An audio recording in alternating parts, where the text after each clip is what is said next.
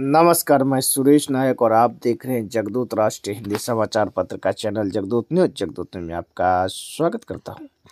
खगड़िया ज़िले के अलौली प्रखंड अंतर्गत सहरबन्नी में पद्म भूषण स्वर्गीय रामविलास पासवान जी एवं स्वर्गीय रामचंद्र पासवान जी का मूर्ति अनावरण एवं लोक जनशक्ति पार्टी का स्थापना दिवस समारोह को लेकर ज़िले के बेला सिमरी पंचायत के बहुचर्चित लंबे समय से पार्टी से जुड़े अशोक कुमार महतो को आमंत्रित करने पहुँचे पूर्व केंद्र मंत्री सह राष्ट्रीय अध्यक्ष पशुपति कुमार पारस के पुत्र मुस्कान पासवान।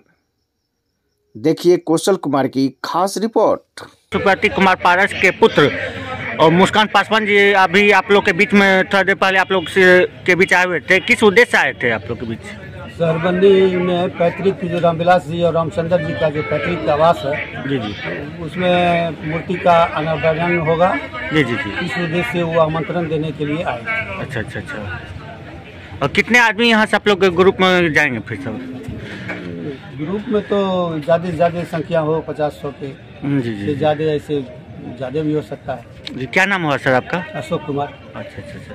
पहले जी जी। पहले कुछ यहाँ लोजपा में आप लोग कुछ थे क्या? पहले से हाँ पहले प्रखंड अध्यक्ष थे। जी जी। अब वर्तमान में आप लोग के पास यानी ऐसे हैं कि एक जो कि जिला के ऐसे शख्स हैं जो कि अब लोजपा का जो है दामन अभी तक थामे हुए हैं। और अभी का माहौल जो देखते हैं हर कोई व्यक्ति के देखते हैं कल जो रहता है लोजपा में कल जो परसों कहीं और रहता फिर।